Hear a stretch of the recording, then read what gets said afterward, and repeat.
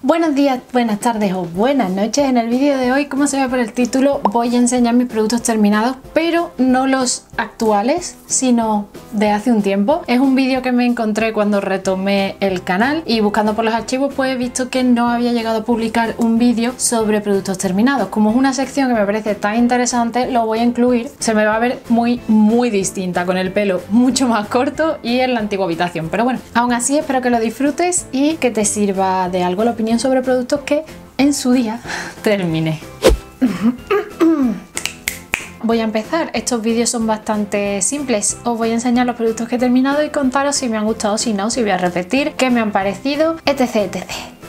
Lo primero que saco por aquí es un gel de ducha que no sé cómo llegó a mi casa. Es de Nelia, cuidado reafirmante. Tenía un olor bastante característico, tipo los de spa y demás que son como relajantes, pero ni es muy frutal ni es fuerte. Es muy neutro, me ha gustado, pero no lo he comprado yo ni creo que vaya a comprarlo porque hay otros olores que me atraen mucho más. El siguiente producto también va a ser uno de los grandes y se trata de un gel de aloe vera que compré en uno de los gremios profesional algo. Me ha gustado, no me ha desagradado, la verdad es que no estaba mal de precio, eran 400 mililitros por unos 10 euros, pero no volveré a repetir porque quiero probar otro hasta encontrar el que más me guste. Este, si no recuerdo mal, tenía un 99% de aloe vera, pero el que sea verde ya me echa para atrás porque el aloe vera no es verde, entonces ya le meten colorante y eso no me gusta. Yo el que quiero probar sí o sí es el de Kueshi, pero no estaba cuando se me terminó este, así que me he hecho con otro. Lo siguiente que sale por aquí son unos algodones de la marca Milton Beauty y estos algodones han sido mm, de rostro me han gustado. No recuerdo dónde me los compré, pero sí volvería a repetir. No me han desagradado, no estado mal. No se han deshilachado ni he tenido problemas con ellos, así que si los encuentras no están mal. Lo que pasa es que no me acuerdo qué precio tenían, la verdad. Todo el maquillaje está debajo porque es más chiquitito y se cae. Así que voy a seguir con productos de cuidado y después comento el maquillaje del que me deshago. He terminado este champú de Placenta Life Be Natural, reparador de argán. Me hice con este champú en septiembre-octubre por ahí en el evento de Hola Princesa que dejo el vídeo por las tarjetas. Era un champú transparente que tenía un olor bastante agradable no notaba que me hiciese espuma a la primera aplicación, tenía que hacer una segunda y últimamente prefiero hacer solo una y no ha sido de mis favoritos, la verdad. No creo que vuelva a repetir al menos con la gama reparadora, aunque yo tengo el pelo graso, como me hice la decoloración y demás, pues preferí algo más nutritivo que un champú como yo suelo utilizar que son más astringentes por el tema de la grasa y la caspa, pero no me ha gustado. Proseguimos con una leche corporal que se la cayó hasta la tapa de la marca Revlon, la Lotion BP de Natural Honey, que era una edición especial que sacaron un montón, hace un montón de años. Yo ya tuve este bote y lo gasté, pero cuando volví a mi casa vi que mi madre todavía no lo había gastado. Así que lo cogí yo por banda y me lo empecé a aplicar yo. La verdad es que me gusta bastante. Las dos veces que he utilizado esta crema. Siento muy bien la piel, el olor es agradable aunque no es muy intenso y yo noto que me hidrata bien, lo que pasa es que este botecito, bueno botecito, que lleva 400 mililitros, cuesta unos 4 o 5 euros, entonces creo que hay otras que son más baratas para la calidad que tienen, que serán más o menos semejantes. Proseguimos, como no he terminado dos botes, como siempre, es que en todos los productos terminados salen, de pasta de dientes de Sensodine. Esta es la Repair que se compra en el Costco, que no me gusta demasiado esta línea, me gusta más que el resto de pastas de dientes, pero prefiero las normales, las básicas de Sensodine, así que con estas no repetiría, volvería a comprar las de Sensodine normal, básicas. Y empezamos con productos de maquillaje. Por una parte me deshago de este dúo de bronceador iluminador de W7. Lo he tenido durante un par de años, juraría, y el bronceador me alucina para verano. Pero me lo llevé de viaje en febrero. El bronceador ya no pigmenta para nada como antes, así que creo que ya no está en muy buenas condiciones. Cuesta 3 euros y obviamente repetiría con él. Es verdad que por ahora no porque quiero terminar otros bronceadores que tengo. Esto en verano ya lo pillo y no lo suelto, así que voy a terminar los otros y después 99% segura de que repetiré con esta. Es verdad que el iluminador no, es muy natural, prácticamente no se nota, pero el bronceador es una pasada. Esto no es de maquillaje, he engañado cruelmente y es que he terminado la crema de Helioker de factor de protección 90, la compré el año pasado, la retiro porque ya no está en la mejores condiciones. Cuando me la he puesto he notado que la piel no se me quedaba del todo bien. No voy a repetir con ella porque cuesta 20 euros y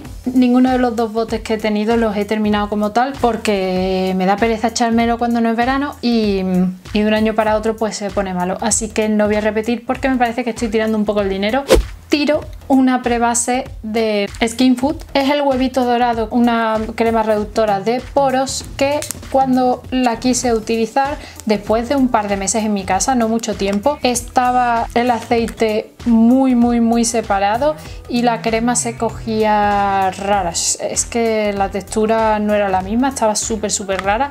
Así que adiós. Me costó 2 euros si no recuerdo mal. No está mal de precio, pero no la recomiendo para nada. Uno de ellos es este lápiz de la marca Liolel que me compré hace bastantes años. Era un lápiz de glitter en verde, un tono súper súper súper bonito, parecido al lápiz de MAC que tengo en tono verde, pero el caso es que se ha secado completamente, no pinta, así que me deshago de él. Tenía otro tono que era azul y le ha pasado lo mismo. Otro lápiz del que me deshago es de un tono negro de una marca árabe que no sé cuál es y me lo compré en un pack con un montón de lápices en Vinecoins y la verdad es que por ahora este es el único que se ha puesto malo. Tiene la punta totalmente blanca y como es para el ojo no me fío demasiado, así que adiós. Y lo mismo de que este, el producto blanco, le ha pasado a este labial que es el tono Hype Girl de los Lipstick Mate de Colourpop que lo he utilizado súper poco porque es un tono es un tono neutro pero que en mi labio con el tono naranjado que tiene queda un poco extraño entonces no lo utilicé mucho aunque los lipstick no están nada más a mi parecer pero no me ha conquistado. El siguiente producto es una prebase de labios de Flormar. Esta cuando hice lo mismo el de Clattering vi que estaba súper extraño, ya no el producto, sino también el aplicador. Estaba súper seco y raro y como es en los labios tampoco la voy a usar, no me quiero arriesgar. De hecho, ¿dónde está? Si lo puse aquí. Me puse el otro día en el trabajo un bálsamo de los que tanto me gustan de ayer, de menta, de Madre Bee y ese también tendría que estar aquí porque me hizo reacción en el labio y sigo teniendo el labio raro. Ese día me noté hinchazón y picor. De hecho, con el paso de las horas no podía reírme y demás porque es que me dolía el labio al estirarse. Con los días que ha ido pasando lo que noto es que tengo como si se me estuviese despellejando el labio, pero no. Es una sensación bastante extraña, así que me desecho de él. La verdad es que tenía unos cuantos años ya y al ser productos más naturales duran menos incluso. Así que chao chao. Otra cosa que prácticamente no he utilizado, creo que lo utilicé una vez, es este, que no me acuerdo ni qué era, creo que era para secar las uñas de Models Own, me costó un euro o dos en Primor, pero es que lo fui a coger y se ha evaporado. O sea, no sé qué había aquí que se ha evaporado total y absolutamente. Ya está. Otro labial que me deshago de él porque a la barra le ha pasado exactamente lo mismo y además no pinta igual y ya no estaba igual es el Barate All de los labiales básicos de Wet n Wild. No lo volveré a comprar porque sé que el tono cambió. Aunque el tono sigue estando Barate All, no es exactamente el mismo color y no me gusta tanto el nuevo. Así que no, no repetiré. Además tengo muchos labiales, muchos neutrales, así que no, no me lo voy a comprar. Pero son labiales que recomiendo, la verdad. Cuestan unos 3 euros. Son mates, duraderos, aunque transfieren y demás porque es una barra de labios. Pero la calidad de los labiales me gusta y el resto de ellos, bueno, menos uno porque el color en sí no me va muy bien. Pero el resto lo sigo teniendo lo utilizo de vez en cuando, pero ahí siguen estando. Y por último me deshago de un brillo de labios de Chanel. Este fue mi primer brillo de labios así de aficionada al maquillaje. Me lo regalaron mis padres en unos reyes. Prepararon una cesta que yo fui con mi madre de hecho a aromas con un montón de cositas de maquillaje. Yo creo que prácticamente ya no me queda nada y una de las cosas últimas que tenía era esto y le ha pasado básicamente lo mismo que al primer de labios. El aplicador está muy muy muy raruno y el producto ya no queda igual así que es hora de que se marche me da muchísima pena, la verdad, porque era un producto que me gustaba mucho y seguramente irá al cuadrito que tengo ahí con productos que me gustan de maquillaje. Ya está vacía de nuevo la cesta, así que espero que te haya gustado el vídeo. Si es así, por favor, dale like y compártelo para que más gente pueda escuchar mi impresión sobre productos. Si no estás suscrito, suscríbete al canal y activa la campanita para que te lleguen notificaciones cuando subo los vídeos los domingos. Por mi parte nada más, muchísimas gracias por estar ahí. Nos vemos en el próximo vídeo.